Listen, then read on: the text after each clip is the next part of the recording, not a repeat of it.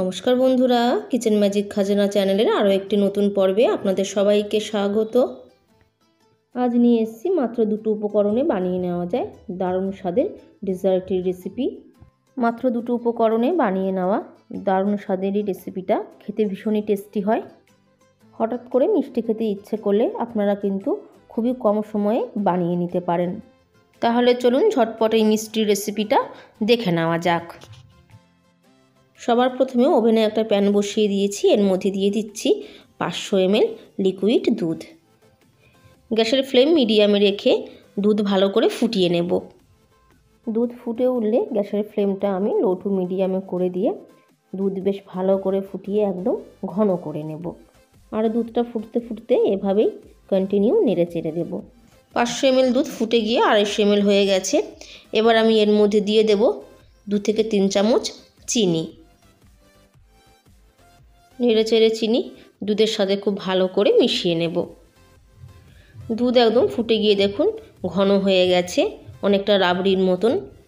এই পর্যায়ে গ্যাসের ফ্লেম বন্ধ করে দেব। এবার এখানে একটা বড় জায়গা নিয়ে নিয়েছি, এর মধ্যে দিয়ে দিচ্ছি চারশো গ্রাম জল ঝরানো টক দই। টক দই সুতির কাপড়ের মধ্যে নিয়ে ভালো করে জলটা ঝরিয়ে নিয়েছি। এবার এর মধ্যে দিয়ে দেবো মাঝারি সাইজের চামচের চার চামচ গুঁড়ো করে রাখা চিনি। এমনি নর্মাল চিনি মিক্সিতে গুঁড়ো করে নিয়েছি। আপনারা গুঁড়ো চিনি না ব্যবহার করে এমনি চিনিও দিয়ে দিতে পারেন। চিনি টক দইয়ের সাথে এবার খুব ভালো করে মিশিয়ে নেব।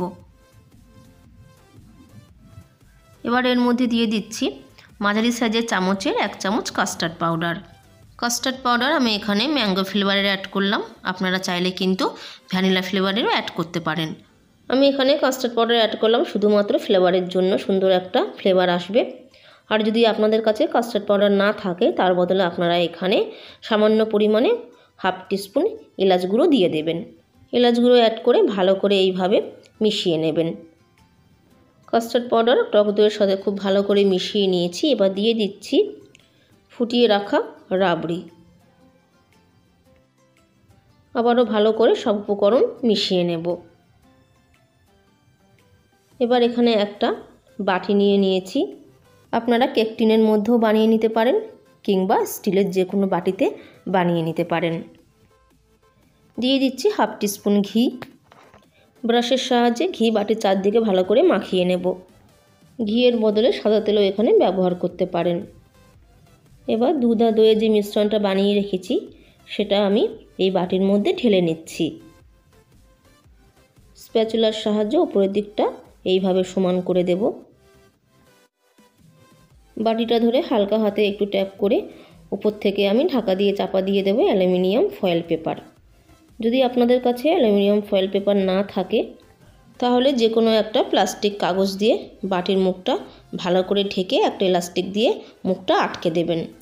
আর না হলে স্টিলের ছোট প্লেট থাকলে সেটা দিয়েও মুখটা কিন্তু ঢেকে দিতে পারেন। এবার বাটিটা ধরে আমি ওভেনে কড়াইয়ের মধ্যে বসিয়ে দেব। কড়াইয়ের মধ্যে একটা কিচেন স্ট্যান্ড রেখেছি। এর উপরে আমি দিয়ে দেব বেশ খানিকটা জল। দু গ্লাসের মতন জল দিলাম। গ্যাসের ফ্লেম লো টু মিডিয়ামের মধ্যে রেখে বাটিটা আমি স্ট্যান্ডের ওপরে এইভাবে বসিয়ে দিলাম। ওপর থেকে ঢাকনা চাপা দিয়ে 30 মিনিট ধরে ভাপে এইভাবে হতে দেব। 30 মিনিট পর আমি ঢাকনা তুলে নিলাম। বাটি এখন খুব গরম। ঠান্ডা হয়ে গেলে নামিয়ে আপনাদেরকে দেখাবো।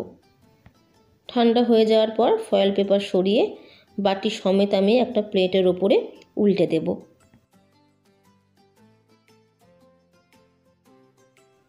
যেহেতু ভাপে মিষ্টিটা তৈরি হয়েছে, সেই কারণে পাশ থেকে হালকা একটু জল বার হবে। এবার সাজানোর জন্য একটু আমন্ড বাদাম আর চেরি ছড়িয়ে দিচ্ছি।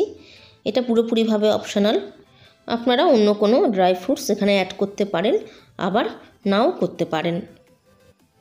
এবার এই অবস্থায় ফ্রিজে রেখে দেব এক ঘণ্টার জন্য, যাতে মিষ্টিটা আরও একটু জমাট বেঁধে যায়। এক ঘণ্টা পর আমি ফ্রিজ থেকে বার করে নিলাম। এবার আপনাদেরকে কেটে একটু দেখাচ্ছি। খেতে ভীষণই ভালো হয়, সেটা আপনারা বাড়িতে বানিয়ে খেলেই বুঝতে পারবেন। রেসিপিটা বাড়িতে অবশ্যই ট্রাই করবেন। আর কমেন্ট বক্সে জানাতে ভুলবেন না, কেমন হয়েছে? যদি আমার রান্নার রেসিপি আপনাদের ভালো লাগে, তাহলে ভিডিওটিতে একটি লাইক দিয়ে দেবেন। আর চ্যানেলে নতুন বন্ধু হয়ে থাকলে চ্যানেলটি অবশ্যই সাবস্ক্রাইব করে নেবেন।